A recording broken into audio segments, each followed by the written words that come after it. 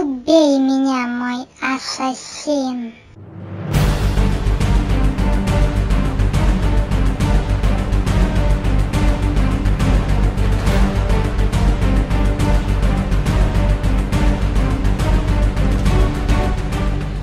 Всем привет, друзья! С вами Александр Провектор и это обзор на Assassin's Creed Идентификация. Игра выходила на iOS еще в прошлом году и наконец-то добралась и до Android. Нужно бы радоваться, но нет, не получается. В игре я провел часа два, пытаясь найти ну хоть что-то, что заставит меня запустить ее в следующий раз. И отчасти кое-что есть. Да, да, да. Кому ты пи... Одно название Assassin's Creed на Android уже приводит в восторг.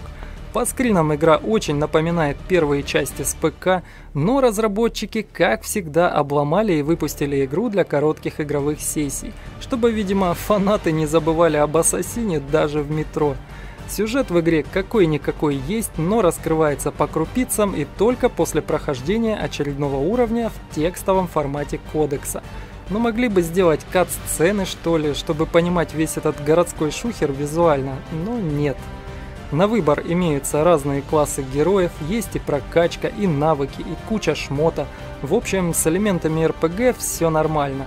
Спросите главного героя, что такое паркур? Он ответит, не, не слышал. Нет, ну карабкаться по стенам и бегать по крышам, конечно же, можно. Но эту систему слишком упростили и превратили в однокнопочную скуку. Хоть бы кнопку прыжка добавили, что ли. Боевая система, да по сути и ее нет – можно закрытыми глазами нажимать всего на одну кнопку атаки, ну и в качестве разнообразия применять какой-нибудь спецприем. Как интересно. А еще игра поддерживает однокнопочный геймпад. Хорошо, что оставили скрытные убийства, маскировку по типу «смешайся с толпой» или «поваляйся в телеге сена», «орлиный взор» и все в таком духе. Это хоть как-то может разнообразить геймплей.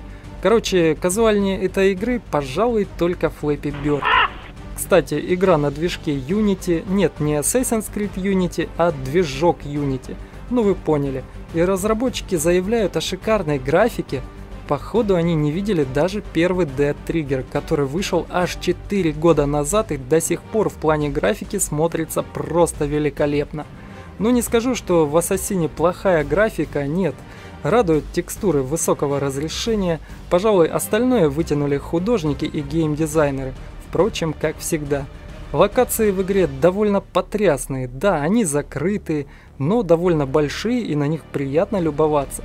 Но городу точно не хватает живости. Такое ощущение, что попал в зомби-ленд. Пожалуй, будем на этой ноте заканчивать. Ах да, чуть не забыл. Игра требует постоянное подключение к интернету, в ней есть донат на всякие штуки, которые помогут скрасить и облегчить прохождение – а еще имеются платные паки дополнительных уровней, а главное, игра платная. А давайте сделаем игру платной, это ж ассасин. А давайте и уровни платными сделаем, а еще донат врубим, это ж ассасин.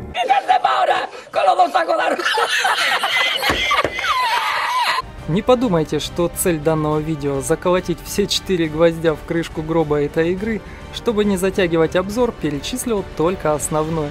Уже молчу про оптимизацию, но в голове все равно слышу голос. Это Android, детка. Но у меня один из топовых планшетов Nvidia Shield Tablet и, увы. И да, я люблю серию Assassin's Creed, и я был готов к тому, что на мобильную платформу выйдет нечто подобное, но не до такой же степени. Советовать вам эту игру к покупке лично я пас. Купить игру с донатом, постоянным инет-соединением и скучным однокнопочным геймплеем – Остановите, я сойду. С вами был Александр Провектор и играйте только в лучшее. Также заходите на мой второй канал PV Let's Play. Там я прохожу самые разные игры и не только на Android. Uncharted 4 уже вовсю идет и новые видео каждый день. Всем добра и пока. Вступайте в нашу группу ВКонтакте.